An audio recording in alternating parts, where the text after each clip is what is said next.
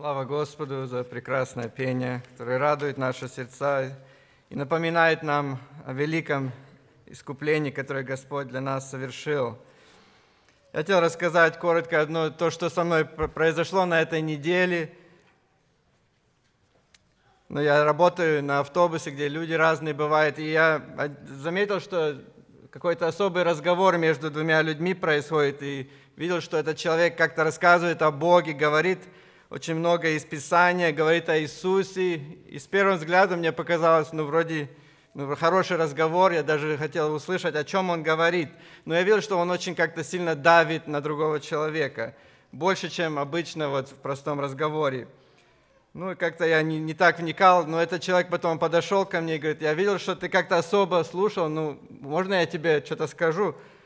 Ну, он как-то начал говорить о своем, как вероисповедание, вроде они христианская церковь, ну, которая очень далеко, далеко заблуди, заблудилась в заблуждение, и он начал говорить о том, что нам нужно возвратиться в закон, нам нужно исполнять Пасху, как исполнял э, израильский народ, что вот это важно для нас. И я, я ему одну мысль только говорю, я говорю, Христос исполнил закон, зачем нам нужно возвращаться в это? И его мысль была такая, что, ну, что это значит, что исполнил? Вот, может, ты не так понимаешь. И я стал задумываться над этим, что действительно значит, что Христос исполнил закон.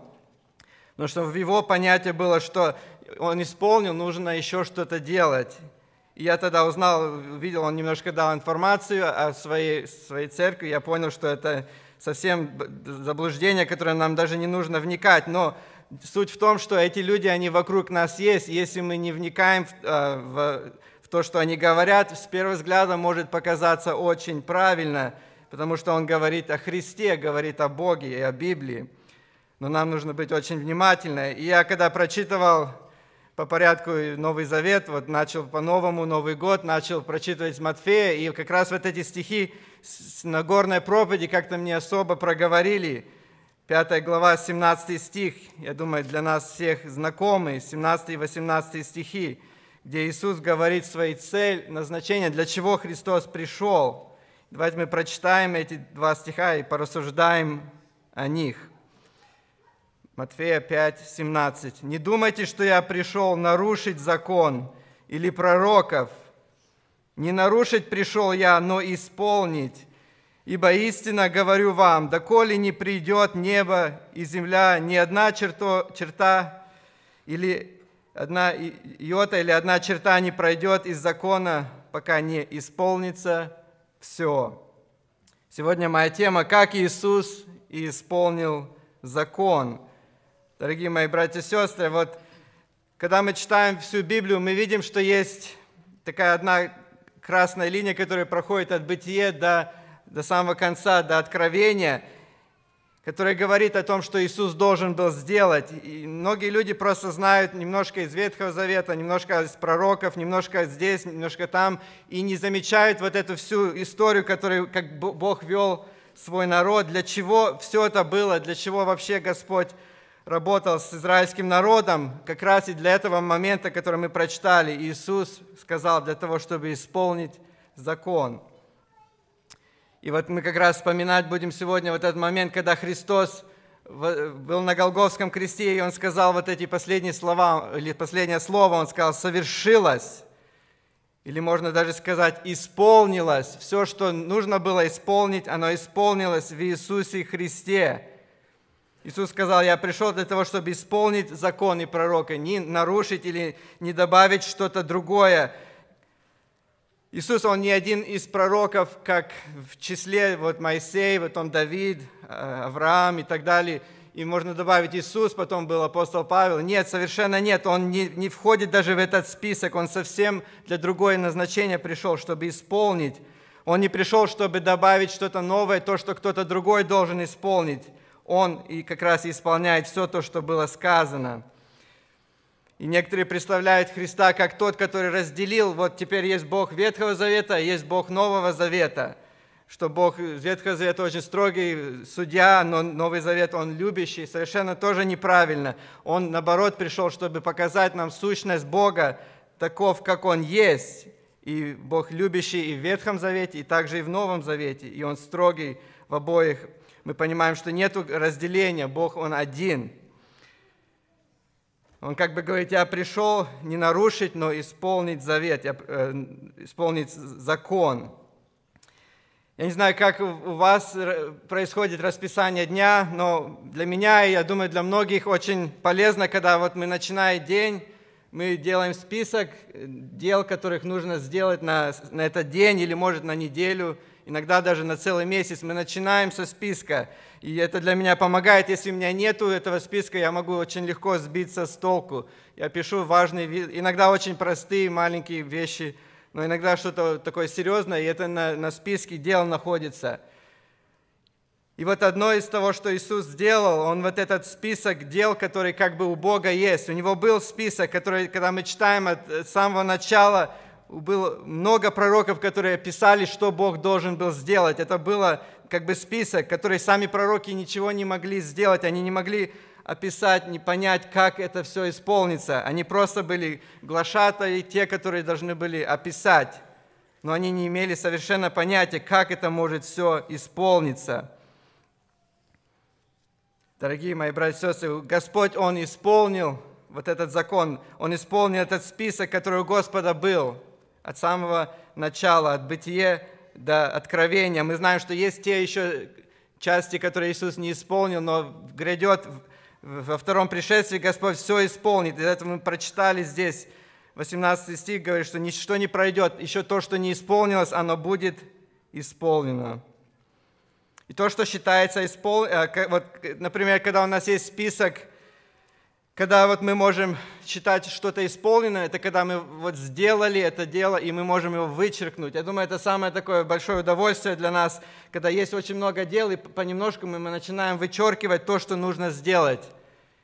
И то, что считается исполненным, это когда мы сказали, я сделал, все, мне это повторять не нужно. И Иисус как бы своим приходом говорит, я сделал, я совершил, я вычеркнул, это уже никто не должен повторять, оно сделано, совершен, совершено. Господом на кресте. То, что Бог обещал сделать, Иисус исполняет своим приходом. И то, что все пророки хотели сделать, но не могли, они только говорили о том, но Господь в своем приходе, Он исполняет. Вот евангелист Матфей, он начинает свое Евангелие с родословия, которое мы часто пропускаем, но оно разделено на три части основных, э, Авраама до Давида, потом мы знаем, там еще вторая часть от Давида до, до плена, и потом третья часть. И он как бы разделил эти три части как раз на, на три как бы важных завета, которые были э, обещаны Богом. Бог обещал Аврааму, что в сыне твоем благословится все, все, весь народ благословится в тебе. Но давайте подумаем, в самом Исааке, являлся ли Исаак благословением для всего народа, всего мира – но если мы посмотрим на самого Исаака, он только благословением был для Сары, для, для отца его, может, для, нек- для семейства и все. Он потом умер, и что дальше? Мы знаем, что Господь добавил это к своему списку, что да, что придет тот, который благословит весь народ, и это будет через линию Исаака. Но в самом Исааке не было исполнено слово, но исполнилось в Иисусе. И также Давид, мы знаем, Давид, Бог ему обещал, что царство твое не будет конца, но мы знаем, что царство оно пришло конец, народ стал грешить, и Бог остановил это царство. Но как же тогда, если Господь говорит, царство будет вовек, мы знаем, что это исполнится в Иисусе, это добавил Господь в список, который будет исполнен в будущем, и Господь это делает. Он исполняет свое слово, Он верен.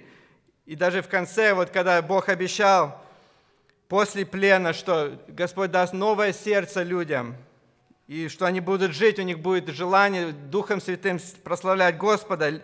Пророки это писали, но не имели представления, как это может выглядеть, потому что народ вернулся с плена и продолжал жить прежним образом. Они не изменились, такой же оставался. И Бог добавляет как бы это к списку дел, то, что нужно будет сделать. И только в приходе Иисуса Христа это все совершилось. И вот совсем недавно мы праздновали Рождество, и когда вы внимательно читаете, особенно Матфей, как часто он говорит, что все, что связано с рождением его, было, чтобы исполнить слово, исполнилось или дабы сбудется какое-то слово, которое Господь говорил, которое много-много лет назад Господь обещал, и все это исполня, исполнилось в Иисусе Христе. Мы сейчас не будем на это все вникать, потому что это все свеже у нас еще в уме нашем, как Господь исполнил, для того, чтобы исполнилось Слово, чтобы мы могли поверить, что Господь ведет своего Сына. Он как раз привел для этого момента. Я хотел предложить нам три коротких мысли, вот связано о том, как Иисус исполнил закон. Как Иисус исполнил закон, и три вещи мы здесь видим. Во-первых, мы видим, что Христос исполнил закон – своей жизнью. Он жил праведной жизнью, он пришел и жил той жизнью, которую никогда никто из нас не мог прожить. И как раз закон, он показывает самое прекрасное вот о Боге. Она говорит нам отражение Бога, каков Он есть. Когда мы видим на 10, смотрим на 10 заповедей, это показывает святость Божия, это показывает том, если бы все так жили, какая бы прекрасная э, какой бы прекрасный мир был, если бы все жили по заповедям, но мы не могли это исполнить, мы не могли жить так, и поэтому Господь пришел.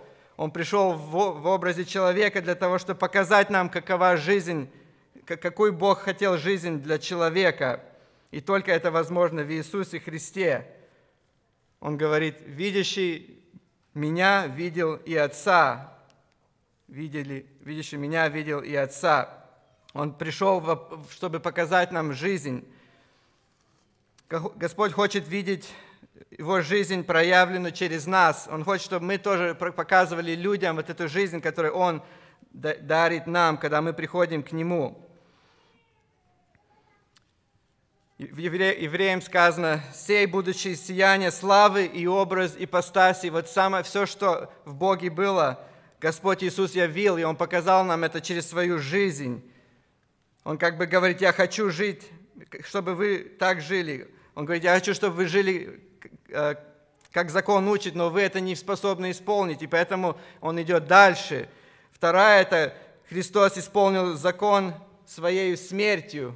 Он не только прожил правильной жизнью, он, прожил, а, он дошел до конца. Иисус Христос исполнил закон своей смертью. Братья и сестры, закон, он не просто говорит нам о том, какая должна жизнь быть, но он показывает, что есть э, осуждение за грех. Закон осуждает грех, и он показывает, что есть смерть. Своей смертью Господь исполняет закон. Проклятие закона как раз в том, что Слово Божие говорит, душа согрешившая, она умрет. Но мы видим на протяжении всей Библии, что Господь как-то откладывал вот этот момент, откладывал осуждение за грех на короткое время, Он откладывал на определенное время. Адам, он согрешил, он не послушался и впал в грех, но он продолжал жить. Господь миловал его. Ной тоже, мы знаем, Ной, он опьянел после потопа, и он тоже сделал, не, не, э, согрешил. Но Господь его не уничтожил, как уничтожил народ допотопный, он помиловал его. Мы смотрим, Авраам, он тоже согрешал, он обманывал о своей жене, и Господь оставляет его, называет его другом своим.